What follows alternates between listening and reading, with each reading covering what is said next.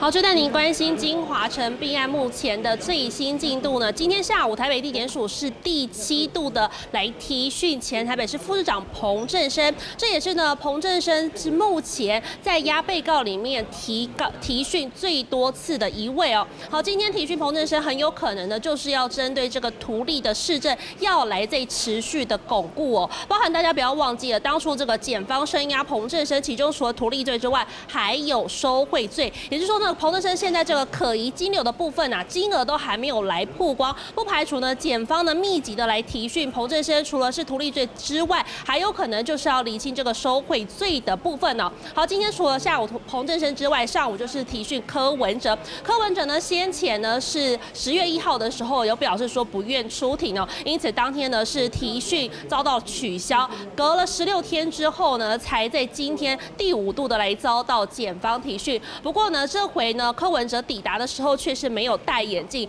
但是呢，开庭大约两个多小时之后呢，呃，准备回囚车上的时候，却是穿上了外套，并且呢，也戴上了眼镜。现在呢，外界都非常猜测说，柯文哲呢，他到底现在又是出哪一招？因为现在呢，羁押期即将就要满了，也因此呢，检方呢，现在更是加紧脚步，希望呢，可以拼月底前来起诉哦。不过呢，外界包含法界也分析说，现在柯文哲的贴身账房橘子徐子瑜。目前都还没有来到案，也就是说，不排除只要徐子瑜还没有到案，除了从证人转为被告之外，甚至很有可能会遭到通缉。也因为橘子还没有到案，所以柯文哲严押的几率非常的高。但是呢，检方想要严押柯文哲以及彭振生，前提就是呢，要先严押第一批的被告，也就是这个应小薇以及沈庆金还有吴顺明这三个人，他们的羁押期满呢是比彭振生以及柯文哲还要再提前的，也因此。最快呢，在十月二十四号之前，检方呢很有可能就会有在下一步的动作。